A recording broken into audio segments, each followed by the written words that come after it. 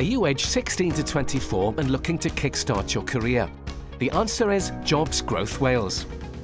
After finishing college, Marc was struggling to find a job, but that all changed when he heard about Jobs Growth Wales. Having loved horses all his life, Marc was the perfect fit for a job at a local horse retirement home. Due to his hard work and enthusiasm, he's now the assistant manager and has a career that he loves. For help finding a career you love, search Jobs Growth Wales.